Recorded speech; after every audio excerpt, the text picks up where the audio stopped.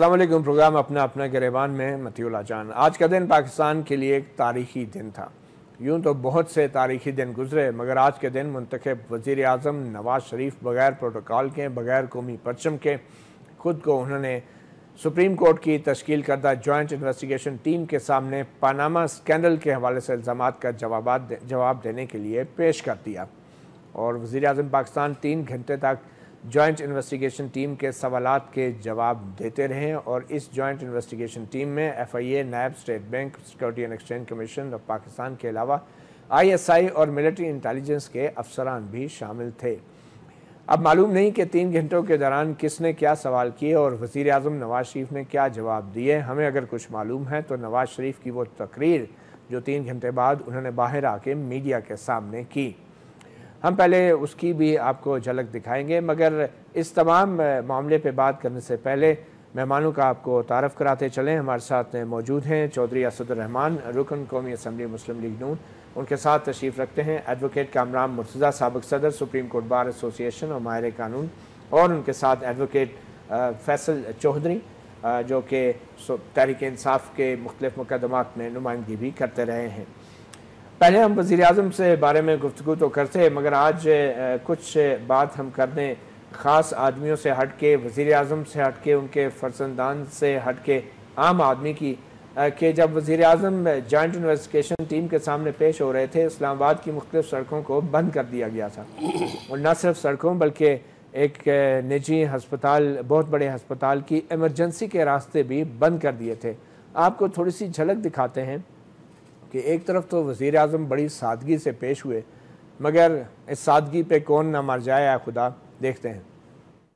वज़ीर अजम नवाज़ शरीफ ने कौमी परचम के बगैर सादगी से खुद को एहतसाब के लिए पेश किया। मगर इस सादगी पे कौन न मर जाए है खुदा? पुलिस की नाकाबंदियों ने नज़दीक में एक अस्पताल की इमरजेंसी के रास्ते भी बंद कर दिए। रमज़ान के महीने की तपती धूप और गर्मी से हल्कान मरीज़ लड़खड़ाते, रींगते, अस्पताल जाने पर मजबूर थे।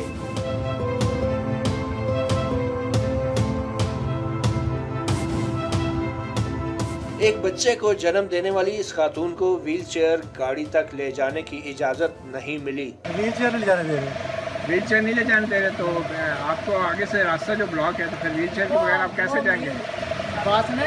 हाँ ये व्हील चेयर का बात जो है इजाज़त है गाड़ी आ जाएगी उन्हें बताया और मैं किसी पर छोड़ देते मरीज़ गाड़ी छोड़ने गाड़ी किधर है? लोग पैदल जा रहे हैं और आप, आप कह गाड़ी आ जाएगी। किसने रोका हुआ ये रास्ता? ये क्यों कर रहे हैं आप?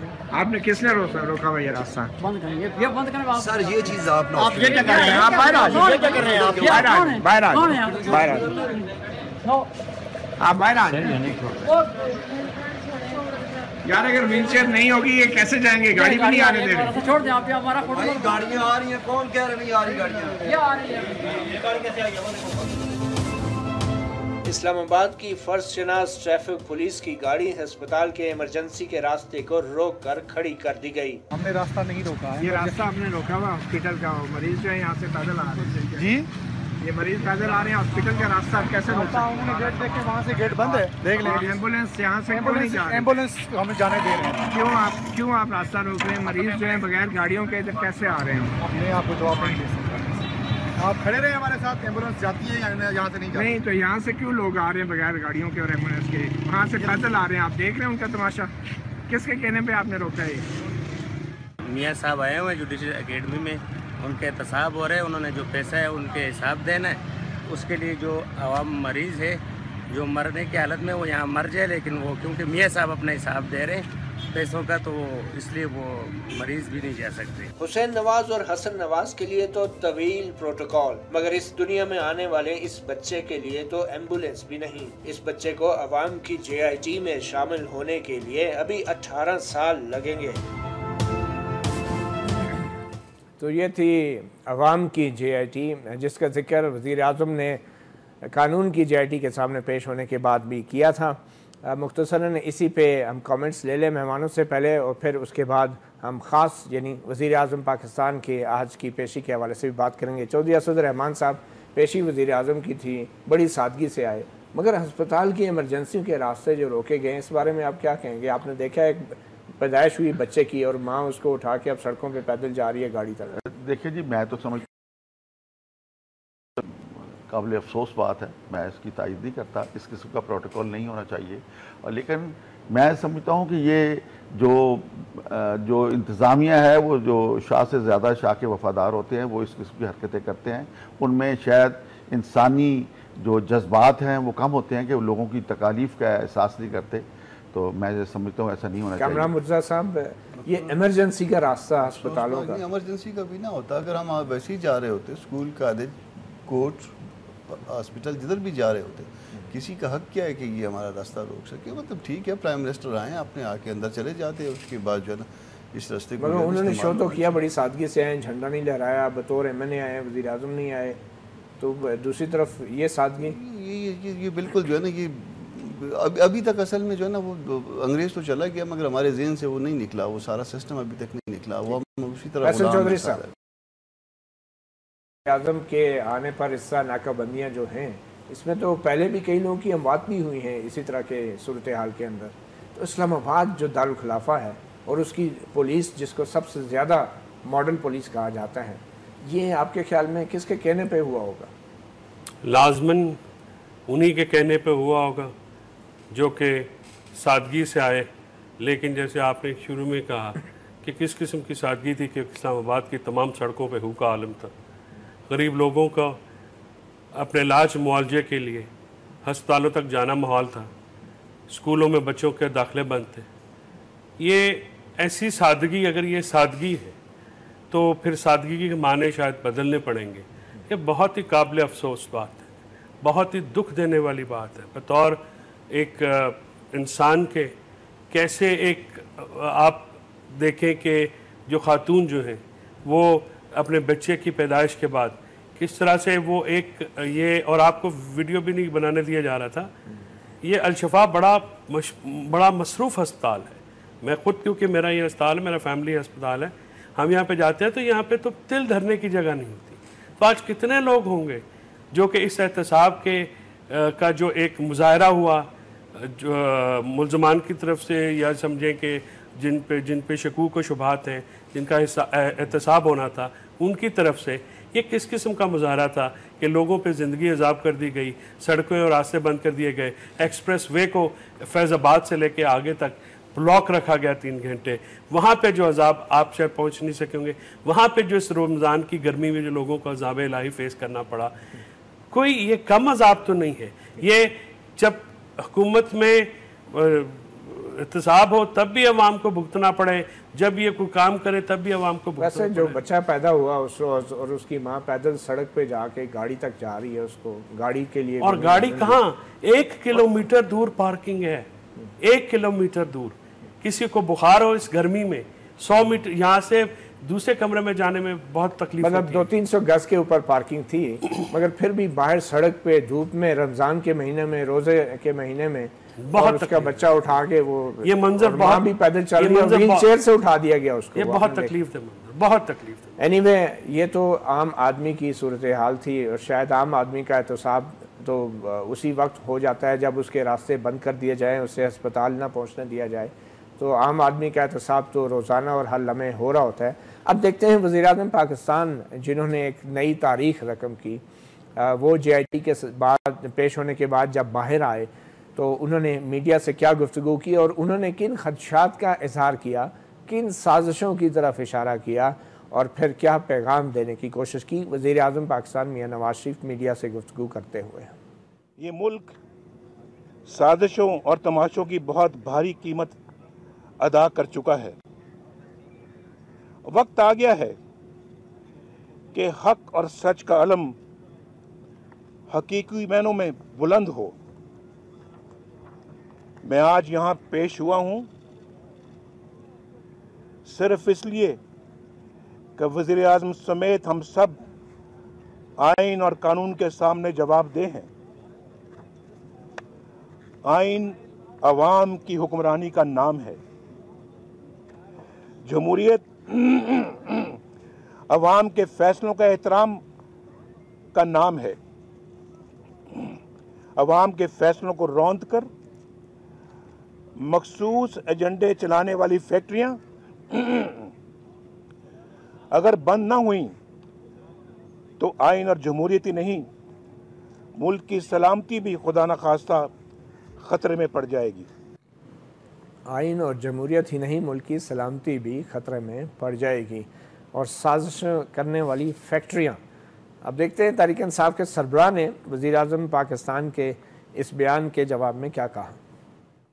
इस तकरीर के अंदर जो सबसे शर्मनाक बात थी वो ये, कि ये ये इसको ऐसे बना रहे हैं कि कोई साजिश है इनके खिलाफ। और साजिश कौन कर रहा है?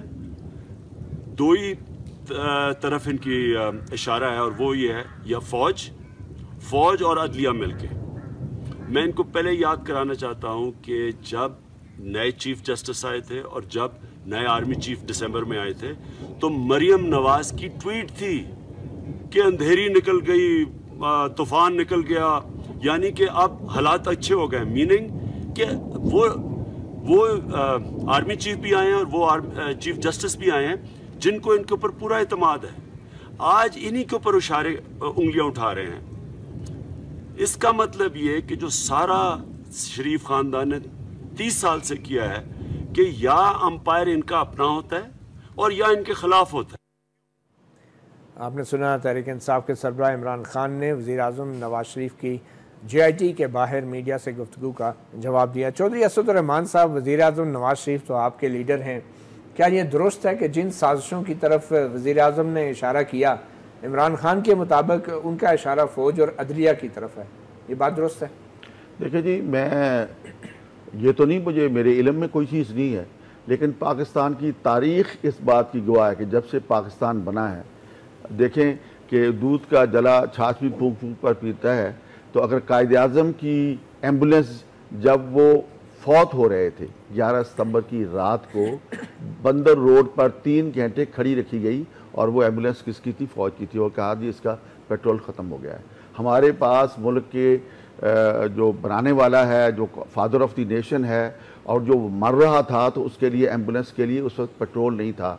बदकिस्मती की बात है कि आज तक हमें नहीं बताया गया। जिस तक किसी बात का अब जे में नहीं ये बताया जा रहा कि ये फ़ोटो किसने ली की है। तो ये इतनी छोटी सी बात है। हमें आज तक नहीं पता चला कि काजाजम की एंबुलेंस का पेट्रोल को खत्म हो गया तो ये मुस्लिम लीग के लिए शर्म की बात नहीं है कि वो अपनी पार्टी के कौम के लिए शर्म बात है अपनी पार्टी के बानी के मौत के बारे में नहीं आज तक पता चला। कितनी बार सब के लिए बायसे शर्म बात है। मैं ये कहता हूँ कौम के लिए शर्म नहीं के लीडर नहीं थे वो पूरी कौम के लीडर थे कितनी बार आप हुकूमत में आए और मैं तो हमेशा कहता हूँ कि हमने ये खेल पाकिस्तान बनने के साथ ही शुरू कर दिया था। तो और उसके बाद लियाकत अली का कत्ल जो हुआ वो शहीद जो हुए उसको आज तक मिस्ट्री समझ नहीं आई कि वो कौन उनको शहीद करने वाला था, किसने शहीद किया। फिर देखिए उसके बाद ख्वाजा नाजमुद्दीन साहब के साथ क्या हुआ कि चंद दिन पहले उन्होंने वोट ऑफ़ कॉन्फिडेंस लिया कॉन्स्टिट्यूंट असम्बली से और उसके बाद उनको डिसमिस कर दिया गया।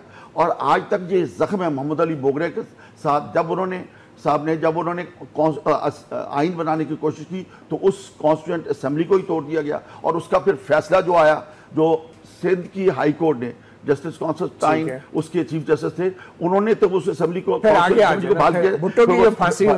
नहीं सारा मैंने कहता वो एक तसलसल है कि जिसमें एक अच्छा मुझे आवाम के खिलाफ मैं इसको नवाज़ शरीफ ने कठपुतलियों का ज़िक्र किया नवाज़ शरीफ ने कठपुतलियों का ज़िक्र किया। हाँ। भुट्टो की फांसी पे कौन कठपुतली था और किसकी कठपुतली था? देखिए बात यह है जी कि वो किया तो फौज ने था लेकिन अच्छा। मैं कहता हूँ कि उस वक्त की जो अपोजिशन थी उस वक्त की अपोजिशन उन्होंने यही तो बदकस्मती की बात है जब नवाज़ शरीफ साहब उन्नीस सौ सत्तानवे में वज़ीर आज़म थे पाकिस्तान के तो एक जी डी ए बनी थी जिनका नारा पता क्या था की फांसी से आप आगे न जाए ना। नहीं नहीं। भुट्टो की फांसी कठपुतली कौन था? क्या नवाज़ शरीफ साहब फौज की कठपुतली नहीं थे?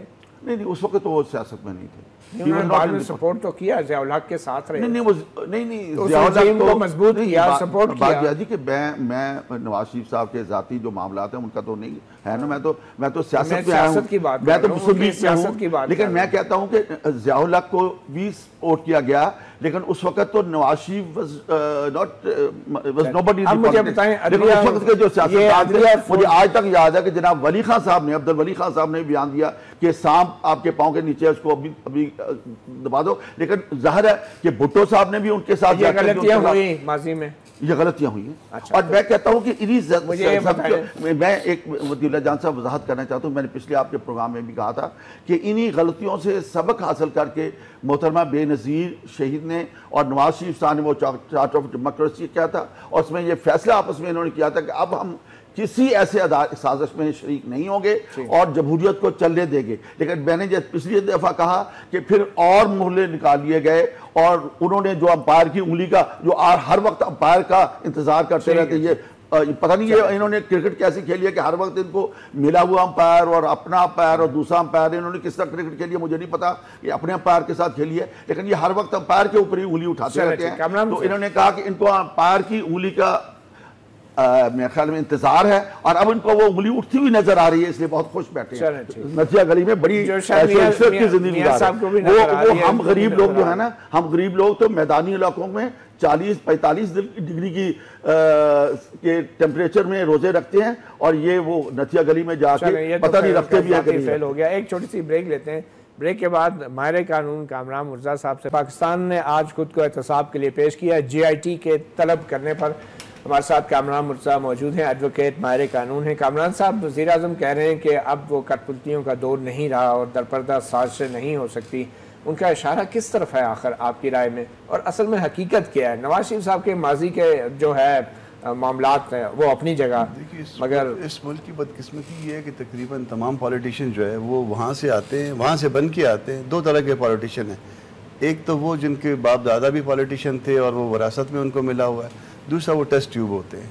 तो जितना भी टेस्ट ट्यूब आपको नज़र आएगा उसमें सारे हैं ठीक है? तो टेस्ट ट्यूब भी विरासत में जा रहे हैं। हम्म, वो अभी अगली नस्ल आएगी। तो वो टेस्ट ट्यूब जो है सारा वो उधर से आता है अच्छा। हम्म, तो तो ये हकीकत है कि आपके ख्याल में इमरान खान साहब जो बात कर रहे हैं कि उनका इशारा फौज और अदलिया की तरफ़ है आप इमरान खान साहब की मेरा ख्याल है? कि अदलिया की तरफ़ शायद नहीं है उनका मगर बहरहाल अदारों की तरफ़ कुछ अदारों की तरफ़ है।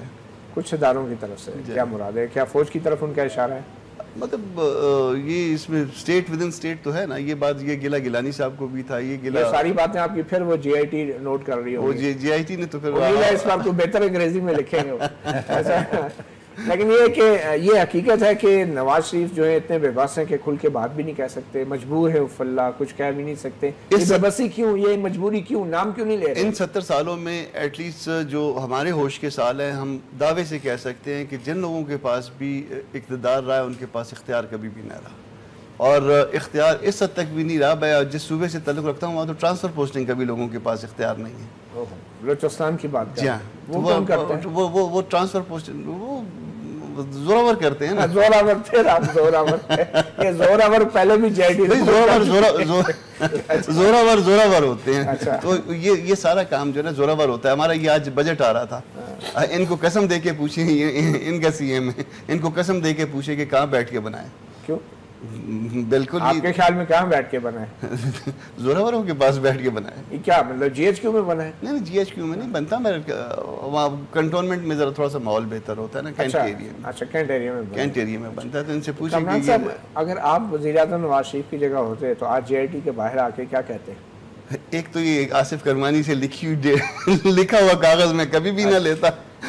और अगर कोई इसको कोई थोड़ा सा पॉलिटिकल वर्कर होता कोई ठीक इसको इतना खूबसूरत खेलता आज की ये आने वाली आने वाली जो जीआईटी है जिसका वो ज़िक्र कर रहे थे उसको जीतना बड़ा आसान हो जाता। ठीक है। फैसल चौधरी साहब नवाज़ शरीफ साहब ने तो फौज और अदलिया का नाम नहीं लिया।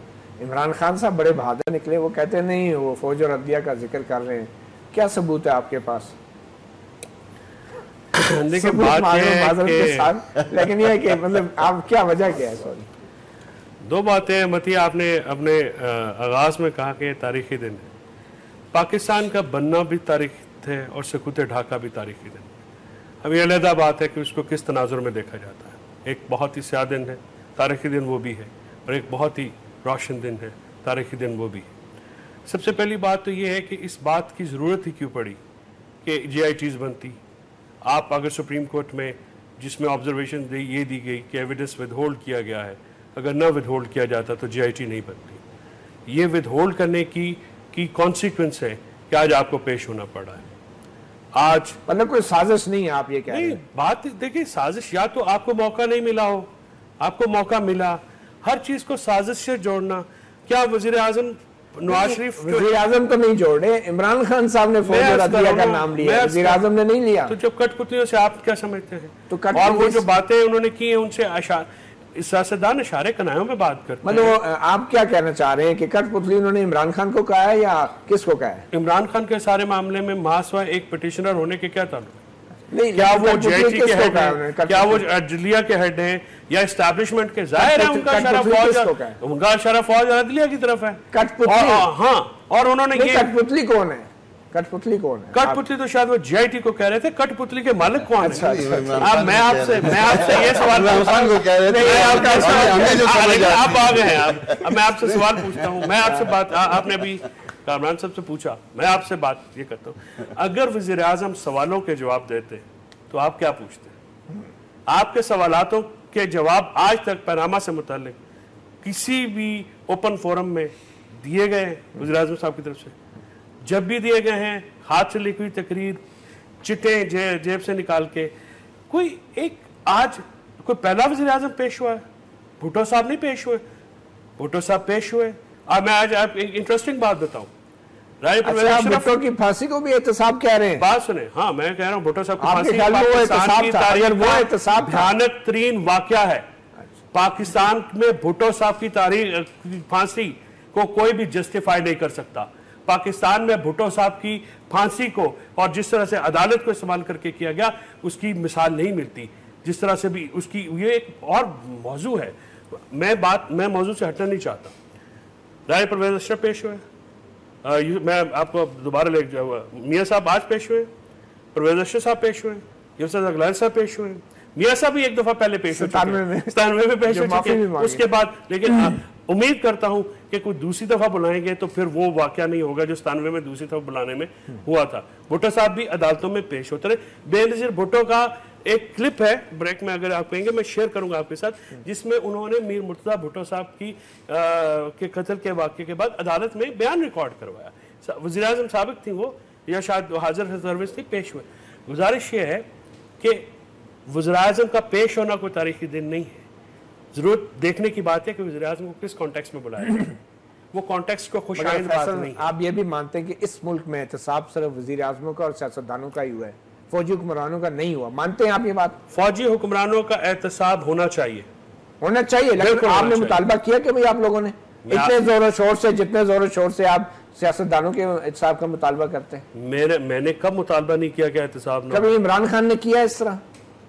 इमरान खान साहब ने बेश- बेशुमार दफ़ा किया। नहीं कभी इमरान खान ने कहा कि मुशरफ को वापस लाया जाए उसका एहतसाब किया जाए? कभी कहा इमरान यानी अच्छा कभी अच्छा, धरना अच्छा दिया आप, आप, उस उस उस कॉन्टेक्स्ट में बात करें यानी you are comparing potatoes with the apples not is बात सुने अब इसमें बात ये करते हैं कि अब अब अच्छा मेरा मेरा आपसे सवाल ये है आप आप ये कह कह रहे हैं कि मुशर्रफ साहब अगर बाहर गए या मुशरफ साहब का हाइड्रोजन का केस नहीं चला क्या वो पेश नहीं हुए? क्या उनके साथ उनकी पेशियाँ नहीं हुई? तो आप खुश क्या वो मजिस्ट्रेट सामने पेश नहीं हुए? आप क्या वो हाई कोर्ट में पेश नहीं हुए? क्यों नहीं क्यों नहीं पेश नवाज़ हुकूमत ने सही एहतसाब किया फौजी किसका? का। मानते हैं आप? नवाज़ शरीफ साहब के, के के दौर में मुशर्रफ साहब पेश होते रहे। मुशर्रफ साहब पेश मुशर्रफ साहब पेश होते रहे और आप उनका दिफा करते रहे। मैं। बिल्कुल आज भी दफ़ा कर रहा हूँ मैं उनका कौन सा हूँ? तो आप एक तरफ़ सियासतदानों के एहतसाब की बात करते हैं दूसरी हाँ, तो तरफ़ फौजी आमरों का दिफा करते तो करते हैं? मैं दिफा अदालत में करता हूँ मैं वकील हूँ। क्या वकीलों को पेश होने से आप रोकेंगे? या कोई इस मुल्क की हुकूमत रोकेगी? हो सकता है इस मुल्क की कोई एहतसाब हो सकता है इस मुल्क तो में। मुर्तजा साहब के सामने पेश होकर बाहर आके मीडिया से बात कर सकते हैं? बिल्कुल करते हैं। क्या वो जेआईटी में पेश होंगे? आएँगे वापस? जब आएँगे तो देखेंगे। नवाज़ शरीफ। वज़ीर आज़म पेश हो गया। मुशरफ साहब डांस कर रहे हैं बाहर उनकी तस्वीरें जो आ रही हैं। हाँ। तो आप मुतालबा नहीं करेंगे इमरान खान के उनको वापस लाया जाए? अच्छा आप ये कह रहे हैं कि- अच्छी मिसाल कायम हुई है या नहीं ये बताएँ। किसकी? वज़ीर आज़म ने कहा है कि आज जिस तरह वज़ीर आज़म पेश हुआ है इस तरह बाकी भी आइन के तहत जो तो है आज़म साहब करें ना जी क्यों नहीं पेश करते? बताएँ बात तो सही है। किसको क्यों किसने रोका? आपके वज़ीर आज़म इकतदार में होते हुए अख्तियार होते हुए ऐसे बेबसी. हो रही हैं कठपुतलियाँ हो रही हैं मतलब वज़ीर आज़म होते हुए आप लोग ये तकरीरें करेंगे तो लोग क्या सोचेंगे आपके बारे में? मुझसे बहुत बेहतर अंदाज में कह दिया कि यहाँ इख्तदार मिलता है इख्तियार नहीं मिलता। मेरे कहने का मतलब पहली दफ़ा एक वज़ीर आज़म ने देखो जरदारी साहब भी तो यहाँ रहे हैं ना प्रेसिडेंट और, यूसर गिलानी क्या उन्होंने परवेज मुशर्रफ को गार्ड ऑफ़ ऑनर दे के बाहर भेजा था? उन्होंने उसका एहतसाब करने की कोशिश नहीं की। नवाज़ शरीफ ने कोशिश की लेकिन उसके नतज अब तक भुगत रहे हैं। जो जो नहीं नहीं जो कोशिश की मैंने आपको कहा था कम से कम एक हुक्मरान ने पाकिस्तान में यह कोशिश की एक फौजी आमिर का जो हाई ट्रिजन का मुलजम है उसकी उसकी उसका एहतसाब हो। और नाकाम हो गया। वो नाकाम हो गया। नवाज़ शरीफ नाकाम हो। ना- नवाज़ शरीफ नाकाम हो गया और आज उसके नतज भुगत रहा है। मैं ये बात खुद के कहता हूँ इमरान तो खान तो आज अपने ओहदे पे क्यों बैठे हैं? नहीं नहीं ओहदे पे नहीं बैठना चाहिए। क्यों मैं समझ मैं बिल्कुल आपसे एग्री करता हूँ कि नहीं बैठना चाहिए। अगर वो अगर मैं कहता हूँ कि उस इस अदलिया को भी फिर इंसाफ दूसरों का नहीं करना चाहिए अगर वो प्रेम शर्फ के मामले में खुद एहतसाब जो जिसने सुप्रीम कोर्ट के जजेस के साथ सुप्रीम कोर्ट साथ उसने अभी तक बहुत कह रहे हैं। देखिए जिन्होंने उस हल्ला गुल्ला किया था, उन्नीस सौ सत्तानवे में सज्जादरी शाह साहब की अदालत का, उनको सजाएँ मिली थी। नवाज़ शरीफ की हुकूमत नहीं रही थी उनको सजाएँ मिली बाद और अदलिया ने सजाएँ दी लेकिन मैं कहता हूँ जिस परवेज मुशर्रफ ने एक चीफ जस्टिस को पाँच घंटे हमसे भेजा में रखा एक कमरे में बंद कर दिया कि इस पर दस्तखत करो ना अंदर अंदर से उसको जुमे की नमाज़ भी नहीं पढ़ने दी पर उसको जिस तरह बालों से पकड़कर घसीटा और जिस तरह सुप्रीम कोर्ट के जजेस को डिसमिस किया और दोबारा मार्शल लॉ साहब, लगाया। मुझे रोना और आ जिस मुझे रोना आ जाएगा, ये नहीं- ये मैं नहीं, आप समझते नहीं नहीं रोना आएगा आप ना। वज़ीर आज़म मैं कहता आपके बैठे कि मैं आप कहता लोगों को कि रुला रहे। अदलिया- इस अदलिया ने फिर उसको बाहर जाने की इजाज़त दी बाहर जाने की इजाज़त दी और वो अब तक वापस नहीं आया। हाँ, और मैं- उस- मैं- आप आप अदलिया कहते हैं कि वो बाहर डांस करता है बाहर तो क्या वो वाकई बीमार था? चलें अदलिया का मौका कामरान भाई की इजाज़त से। देखिए ये वही अदलिया है जिसने मुशरफ साहब के ट्रायल का हुक्म दिया। वही आसिफ सईद खान खोसा थे। जब ट्रायल नीचे से रुका हुआ था उन्होंने की हम उनके सामने पेश हुए।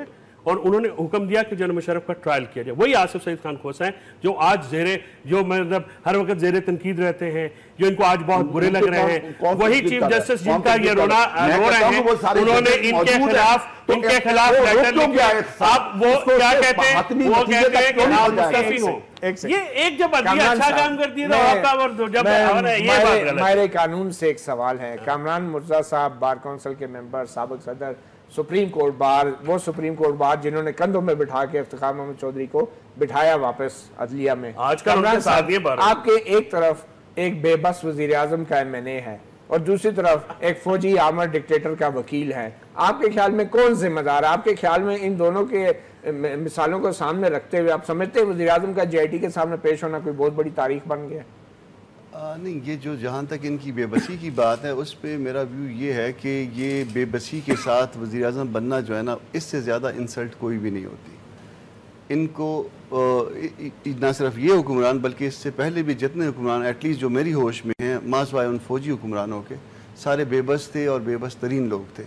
इसके बावजूद इन्होंने इकतदार को एक्सेप्ट किया इनकी मजबूरियाँ थी और मजबूरियाँ ज़ाहिर है। कितने जिम्मेदार है? वज़ीर अजम को तो वो दबा लेते हैं सियासतदान को। मुशरफ जैसे फौजी आमर का एहतसाब ना करने सब में सबने आँखें सब सबने आँखें नीचे की सबने आँखें नीचे की ये भी जिम्मेदार हैं। वो तो चले ठीक थे ना उनके तो वो तो जाना था इनका इनकी प्रोफेशनल ड्यूटी थी जो इसको ये असिस्ट कर रहे थे। और उन्होंने बाहर जाना था उसको भी अदारे जो ना प्रोटेक्ट करते रहे। आते आते रास्ते में गाड़ी मुड़ जाती थी और सीएमएच की तरफ़ चली जाती थी। आप भी देखते थे, हम भी देखते थे, उसके बाद एक दिन भी वो इस अदालत में तीन तीन जजेस मुख्तलिफ़ सूबों से आके बैठते थे और उसके बाद एक दिन भी उन्होंने जो ना तकलीफ़ गवारा नहीं की कि उसमें आके पेश हों। तो ये भी जिम्मेदार हैं, अदलिया भी उसकी जिम्मेदार है, मैं और आप भी जिम्मेदार हैं। हम सारे हम हमारा मतलब इतना प्रेशर नहीं था ना कोई ऐसा सोशल प्रेशर इसका मतलब है ये जो जी है और फिर उसके सामने वजी अजम पेश हो रहा है तारीख बन रही है मीडिया टॉक हो रही है वो कह रहे ये हैं तो बेख्तियार लोग हैं। ना बेचारे ना। तो ये नहीं ये जी सर बाइख्तियार बंदा होता एहतसाब हो रहा है या कुछ और हो रहा है? बाइख्तियार बंदा होता आपने याया खान का एहतसाब कर लिया था जिसने मुल्क तोड़ा था? आपने उसका एहतसाब कर लिया था? गार्ड ऑफ़ ऑनर दिया। तो जब आप उसका एहतसाब नहीं कर सके मुशर्रफ का क्या करेंगे? उसको हाँ, और मुशर्रफ का क्या एहतसाब करेंगे? उसको गार्ड ऑफ़ ऑनर दिया था। जियाउल हक का क्या एहतसाब करेंगे? दूसरों का क्या करेंगे? इनका एहतसाब कोई भी नहीं कर सकता। आप कह रहे हैं याया खान को पाकिस्तान के झंडे में लपेट के उसको दफनाया गया था। और गार्ड ऑफ़ ऑनर बिल्ला मतलब अल्लाह ताला जनरल मुशर्रफ साहब को ज़िंदगी दे मेरी दुआ है और हमें कहना नहीं चाहिए मगर खुदा न खासा कल क्या जनरल मुशरफ साहब को भी पाकिस्तान के झंडे में लपेटा जाएगा और अगर ऐसा होगा तो क्या आपकी हुकूमत रोक पाएगी उसे? देखो जी, मेरे ख्याल में हुकूमत रोकने की कोशिश करेगी तो फिर धरने होंगे, फिर धरने होंगे। ये 2014 के धरने कौन से नहीं सकते, कौन। सी वो की। आप रोक सकते नहीं रोक सकते। मैं मान रहा हूँ, मैं concede कोई कनाडा से आ जाएगा कोई यहाँ से, उस- उस पावर से- उस पावर से बेहतर है कि आप देखिए- बाहर बैठे। बात ये आप- मैं मैं आज़ाद साहब एक एमएनए की हैसियत से मैं आपको बताता हूँ ये बहुत रोने की बात है कि पाँच मिनट का रास्ता है हम पार्लियामेंट लॉजिस से जहाँ हम रहते हैं एक सड़क पार करके हम हम नेशनल असेंबली में चले जाते हैं पूरे 45 मिनट में आधा इस्लामाबाद घूमकर हम प्रेसिडेंट हाउस की तरफ़ से आते थे। प्रेसिडेंट हाउस के अंदर से हम सुप्रीम कोर्ट पहुँचते थे सारे रास्ते बंद कर दिए गए थे। धरने के दौरान? धरने के दौरान मैं बात कर रहा हूँ ये किसने सब कुछ किया था? किसने सुप्रीम कोर्ट के जमलों पे फिर कपड़े लटकाए धोके कपड़े लटकाए किसने ये सारी? किसने की ये? उनका एहतसाब ये ने किया आपने? उनके उनके ऊपर केस दर्ज है ना आपकी JIT के सामने- पर हमले आपकी हुए, के सामने। सुप्रीम कोर्ट अदलिया पार्लियामेंट के ऊपर हमला हुआ। आपका आईजी आपके साथ नहीं मैं कमरान साहब क्विकली मेरा सवाल ये था क्या अदलिया जिम्मेदार है मुशर्रफ का ट्रायल ना होने में वो भी जिम्मेदार है मैं भी जिम्मेदार हूँ हुकूमत भी जिम्मेदार है आप भी मैं कहता हूँ। जिम्मेदार है हम- हाँ, हूँ। सब हैं। अगर प्रेशर बिल्ड करते तो कभी ऐसा नहीं होता क्या दरखास्त लिख रहे हो तो मेरी गवाही पा दो खत लिख रहे हो तो सलाम पा दो एक थोड़ी सी जे की तरफ़ हम आते हैं। वज़ीर आज़म साहब ने आज जो बयान दिए है आपको लगता है कि जे आई टी इनको दोबारा भी तलब करेगी या वज़ी अजम वाला अब इंटरव्यू खत्म हो गया? मजीद नहीं ये तो जी की रिक्वायरमेंट्स है ना जी कि वो क्या करें। लेकिन एक क्विकली मैं एक छोटा सा कमेंट कर लूँ कि बहुत शोर मचाया जा रहा है। मुशरफ साहब आप भी कह रहे हैं जो जस्ट एक दोनों चीज़ों को मिला रहे हैं हालाँकि मेरी नज़र में दोनों लहदा लहदा अच्छा। है लेकिन ये अप्रूवल जो है ये परमिशन दी थी honourable supreme court of Pakistan ने और इसकी टेसिट अप्रूवल दी थी। मिनिस्ट्री ऑफ़ इंटीरियर ने ई से नाम किसने हटाया था? उस उसकी अगर मतलब रिव्यू फ़ाइल किया जा तो सकता था। असल जिम्मेदार जो है सुप्रीम तो कोर्ट हुकूमत खुद है ना? नहीं तो वो तो टेसिट है ना। कहाँ असल हुक्म और कहाँ टेसिट जेआईटी की बात करें जेआईटी की बात करें कि तो जेआईटी की अगर तो रिक्वायरमेंट हो। देखिए जी बात यह है कि इन्वेस्टिगेट जो हुकूमत वक्त का मसला क्या है? मुझे लगता है कि हुकूमत वक्त जो है ना जो जेआईटी को as a opposition party treat करेगी। उनको वो नहीं करना चाहिए, उनको समझना चाहिए। वजी अजम साहब सुप्रीम कोर्ट के उस हुक्म के ताबे आज पेश हुए हैं, जिसमें उनको ये और उनके दोनों बच्चों को हुक्म ये दिया गया था कि अगर जेआईटी आपको बुलाएगी तो आपको हाजिर होना पड़ेगा। और आप, और जेआईटी क्यों कॉन्स्टिट्यूट की गई, क्यों फॉर्म की गई? टू कलेक्ट द एविडेंस और उसके ऊपर जो है कोर्ट ने ये फैसला करना है। मसला ये है जो नज़रिया हम जब ट्रायल करते हैं, हमारे एक्यूज जो होते हैं, उनकी तरफ़ से भी हम अपीयर होते हैं। तो मोस्टली हमारे एक्यूज हमें ये कहते हैं कि जनाब बात यह है कि वो हमारी तफ्तीश ठीक नहीं हो रही है आप एप्लीकेशन डालें। तो इनवेरिएबली तकरीबन तमाम केसेस में हम लोग ये एप्लीकेशंस डालते हैं और अब तफ्तीशी को या फिर अगर वो नहीं माने तो फिर मतलब उसके ऊपर हम ये टेक्टिकल होता है और जो हार्डेंड क्रिमिनल हैं उनका एक तरीका होता है। वो क्या तरीका होता है? सबसे पहले मिन्नत करें नहीं माने पैसे ऑफ़र करें। पैसे ऑफ़र नहीं किए तो उनको पड़ जाए। और उनको कहें कि ये ये हैं ये वो हैं just to create an impression के मामला ठीक नहीं हो रहा।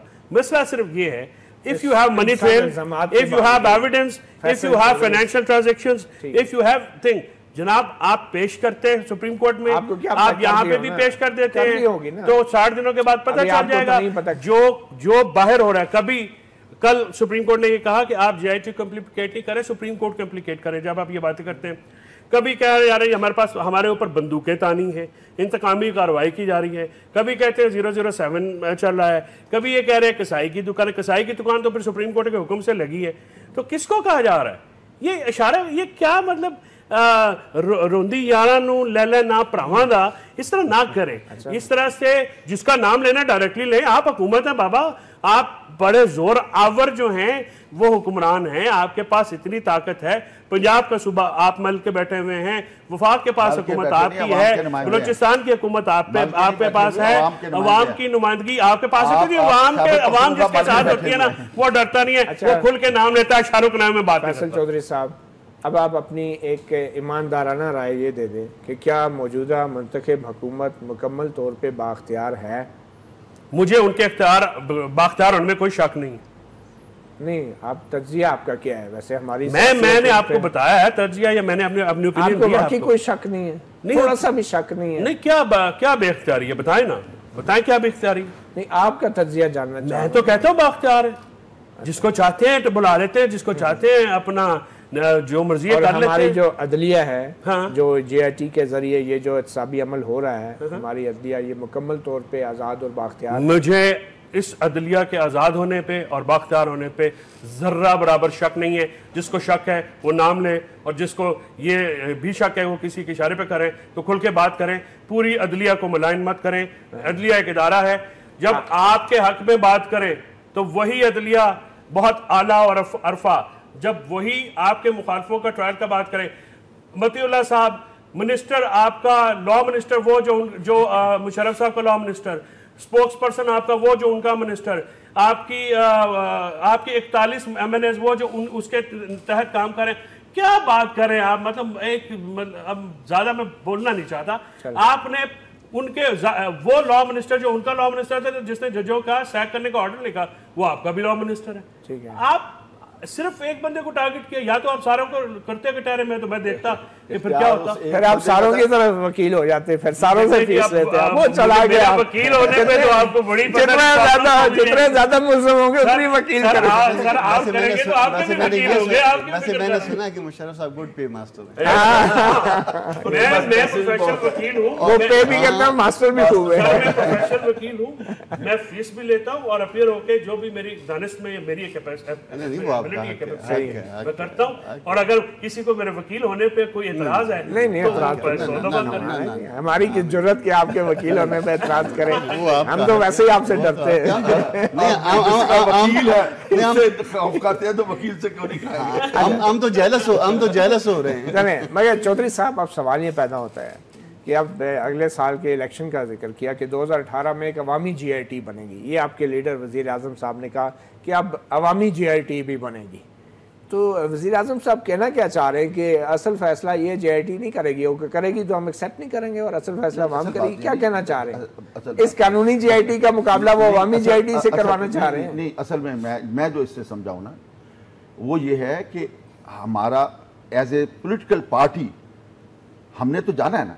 ये ये तो एक फैमिली के ऊपर हो रहा है ना कि- कब जाना है? झगड़ा इस पे है। नहीं 2018 में अच्छा। अपने वक्त पे होंगे जो मैं समझता हूँ जो मेरे इलम में है कि इलेक्शन अपने वक्त पे होंगे ये अपनी पूरी करेगी टेन्योर अगर आज मुराद अली शाह साहब ने कहा कि चाहे नवाज़ शरीफ साहब की जाए कोई और कोई और वज़ीर इलेक्शन पे वक्त पे अच्छा। होंगे जो मैं मेरा समझता हूँ। अच्छा, अच्छा। लेकिन मैं समझता हूँ कि वैसे भी इसने फौरी फैसला नहीं हो जाना इसने अभी जेआईटी ने रिपोर्ट दे दिया उसके बाद दोबारा सुप्रीम कोर्ट ने फैसला करने पता नहीं वो क्या फैसला करती है। है। वो इसके ऊपर रेफरेंस फ़ाइल करती है। या क्या करती है ये तो हमें पता ही नहीं है ना। है। इसमें कितना टाइम लगेगा? लेकिन मैं समझता हूँ कि इलेक्शन वक्त पे होंगे और वक्त पे ही होने चाहिए। वज़ीर आज़म आते जाते रहते हैं लेकिन असम्बली अगर वज़ीर आज़म समझे वज़ीर आज़म को इख्तियार है असम्बली तोड़ने का। लेकिन मैं समझता हूँ कि मेरी एक बात सुन लेता हूँ वज़ीर आज़म को कौमी असम्बली तोड़ने का इख्तियार है।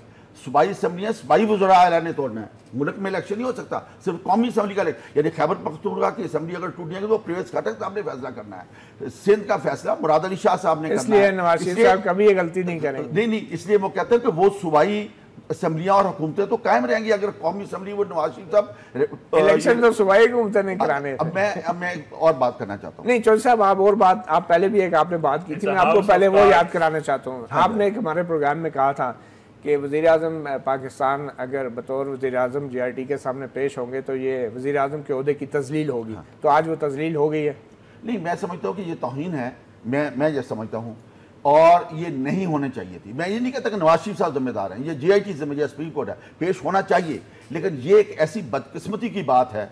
अगर ये मैं एक सियासतदान के हैसियत से मेरे जज्बात हैं क्योंकि मैं असम्बली का रुकन हूँ, हमारा लीडर ऑफ़ द हाउस आज पेश हुआ है। मेरे जज्बात हैं। मैं कहता हूँ, लेकिन मैं ये नहीं कहता कि नवा- नवाज़ शरीफ को कानून के ताबे नहीं होना चाहिए, चाहे वज़ीर आज़म हो, चाहे कोई हो।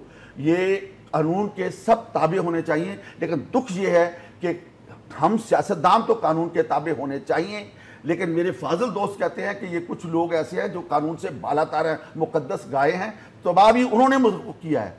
मशरक़ पाकिस्तान भी बांग्लादेश उनके दौर में बना है। ये हमें दहशत गर्द का अजाब उनकी वजह से नाजर हुआ इस मुल्क में लेकिन उनका एहतसाब नहीं होना चाहिए। अब मैं एक छोटे मैं मैं फौज को कहता हूँ फौजी आमरों को कह रहा हूँ।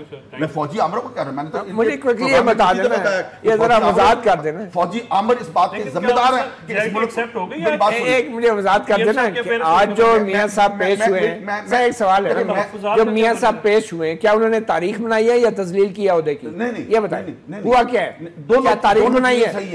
तारीख अच्छा। बनाई है। देखो मैं अगर किसी किसी मुकदमे में कहीं पेश होता हूँ तो मैं वो तारीख मैं का क्या जी? मैं प्लीज़ हाँ हाँ आप अगर पेश होते हैं तो। नो पेश होता हूँ तो ये मेरा फ़र्ज़ है।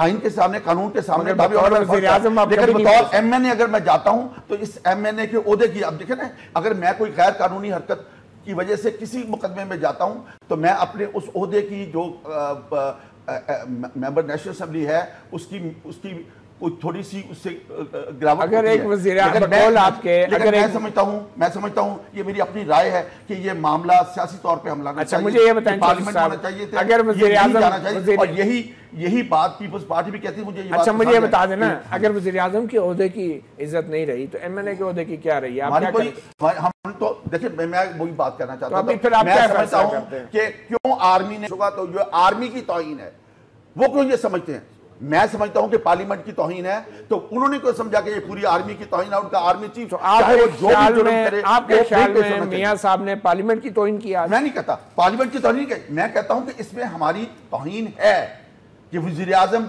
बहुत जूनियर लेकिन आपको महसूस हुई है कि नहीं? महसूस हुई है कि नहीं? मुझे महसूस हुई है। मैं आप आप इस्तीफा दे रहे फिर एम एन ए से? तो इस्तीफा दे दूँगा शायद मैं दे भी दूँ। मैं मैंने पहले भी इस्तीफा दे एक एक बात मुझे खा लेने दें मैं मैं एक बात कर लेकिन फिर वो accept नहीं होगा। अच्छा। नहीं नहीं नहीं एक्सेप्ट ना होने का सवाल ही पैदा नहीं। वाले जो ये इस्तीफा नहीं एक्सेप्ट करते मैं समझता वो भी आइन की तोहिन तो आप देने जा रहे हैं। वो आइन इस्तीफा एक्सेप्ट करने ना या ना करने का कोई इख्तियार ना स्पीकर के पास है, पर आपने फैसला कर लिया कि आप इस्तीफा दे रहे हैं। नहीं जी मैंने फैसला नहीं किया लेकिन मैं दे सकता हूँ।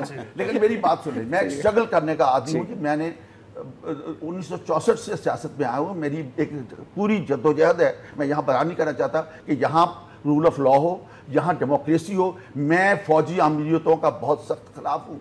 और मैं समझता हूँ कि पाकिस्तान की तबाही फौजी अमलीतों की है। और उनकी वजह से आज पाकिस्तान और बांग्लादेश अलग अलग मुल्क हैं। उनकी वजह से आज ये मुल्क दहशत गर्दी का शिकार हो गया है और तबाह बर्बाद दहशत गर्दी ने कर दिया है। मैं इस बात का और उनका एहतसाब होना चाहिए। होना चाहिए। और जो जिन्होंने उनका एहसाब नहीं किया वो आज एहतसाब की बात करें तो मैं समझता हूँ कि उनको भी सोचना चाहिए और हमें आप एग्री करते हैं कि वजी आज़म के अहदे की जो है तोहिन हुई है? नहीं मेरा ख्याल में तो एक कानूनी जीआईटी के सामने पेश होने से किसी को कोई तोहीन तजरील नहीं मतलब वजी आज़म को इस्तीफा देने की है। आज़म साहब का लेकिन एक बात ज़रूर हुई है। वो ये हुई है कि जो तहफात थे मुस्लिम लीग नवाज़ के जीआईटी के बारे में आज वो पेशी के बाद शायद उनमें कोई वज़न नहीं रह गया है और उनका वहाँ पे पेश होना मैं समझता हूँ कि अगर तो कोई कानून एक अच्छा पॉजिटिव ये रूल ऑफ़ लॉ है ना जी। पॉजिटिव है। किसी की मस्बत है। Yes, of क्रेडिट देते हैं आप प्राइम मिनिस्टर को। मैं क्रेडिट कर देता हूँ अपने अदलिया को और जीआईटी को। चले बहुत शुक्रिया। फैसल चौधरी कामरान मुर्जा साहब चौधरी असदुररहमान साहब आज आपने दिल की बात की और बड़ी बड़ी बात है कि एक पार्टी हुक्मरान जमात के रुकन होते हुए भी आप अपने दिल की बात करें। हमेशा करते और हमेशा चौधरी साहब करते हैं, इतना हाँ, क्रेडिट तो इनको जाता है। अपना अपना गरेबान से इतना ही क्योंकि आने वाले वक्तों में शायद बहुत से लोगों का अपना अपना गरेबान चाक होगा। मगर इसमें सिर्फ़ लोग नहीं हमारे इदारों का गरेबान भी आज इतना खुल चुका है कि बहुत सी नज़रें उस गरेबान पर हैं। और हमें उम्मीद है कि हमारे इदारे भी अपने अपने गरेबान में ज़रूर झांकेंगे। मतीउल्ला जान को इजाज़त दीजिए। अल्लाह हाफिज़।